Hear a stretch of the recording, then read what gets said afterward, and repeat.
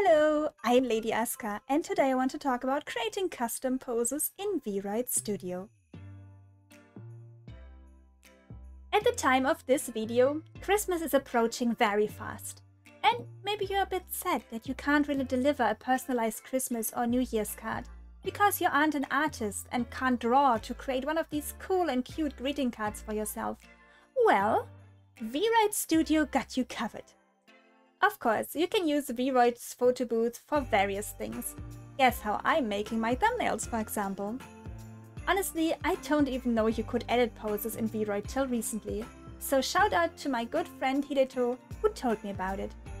So for our tutorial today, I will try to create a Christmas card. First, that means I have to dress for the occasion, and which place would be better to find a cute outfit than booth.pm. Let's take this one here for our purposes. Thank you, Argama Witch! We quickly dress the model, and I just do a little modification on the neck part because I realized, only then, that my model had quite the unnatural long neck since version 1.0. Now we need of course a Christmas inspired background, and I'm using one from the internet for this tutorial here. You should be good if you're using these for personal use, if nothing states otherwise because in the end, you will probably just post this picture on your social media or send it out to your VIP followers. If you take money for a card like this, let's say you only would send these out to Patreons, or you would make art this way to sell it, always check with the license holder or hire someone to create the background if you can't do it yourself. You can also create a simple background with websites like Canva, which I highly recommend. The link is, as always, down in the description. The website lets you sign up for free and offers a lot of free options to use, but we'll talk about that in a bit. Now back to our greeting card. We import the background under Background and then go to Poses and Animation. You may see a little drop-down menu at the top that has two pose sets or the Posing option, which we choose.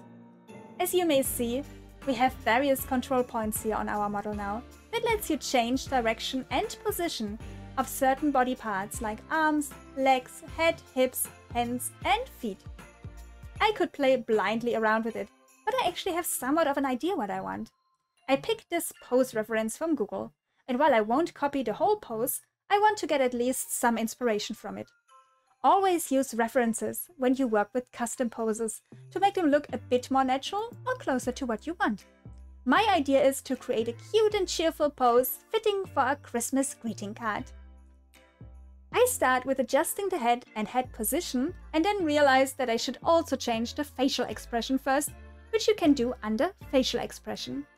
If you watched my last video on custom expressions, these sliders will all look familiar.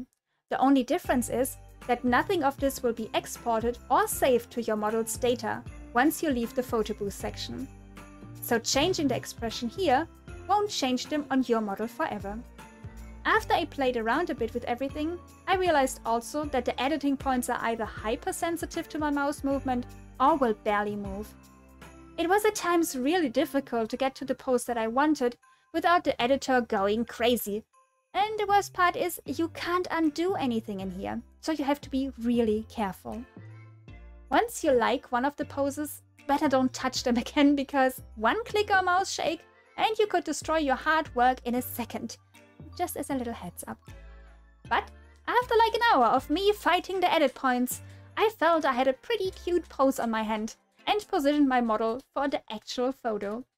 Before pressing the photo button in the bottom right corner, you can and should do a few more things to enhance the quality of the image. First, go to Post Processing and set anti-aliasing to high.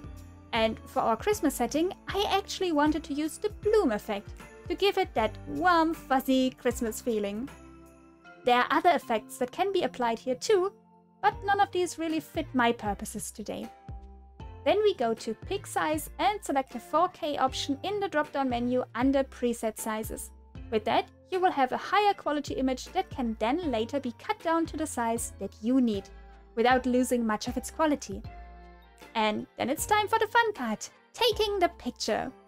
Make sure to take a lot and maybe rotate your avatar around a bit to get that chocolate side, or just the one that you think looks the best.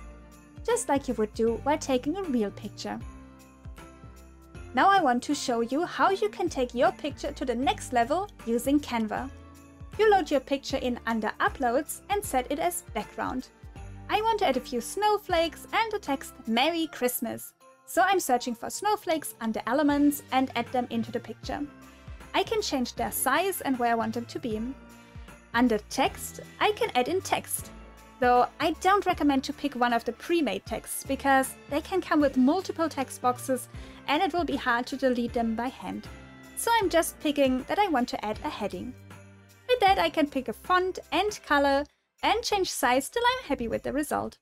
To save your design, you download it with the download arrow in the upper right corner and they would offer a print service if you're interested in that. I hope you all have fun experimenting with that. And feel free to tag me on your social media posts or use the hashtag ShowAska to show me your creations. I may even showcase your work here on the channel.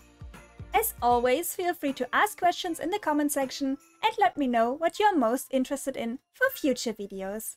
Hope you have a wonderful day.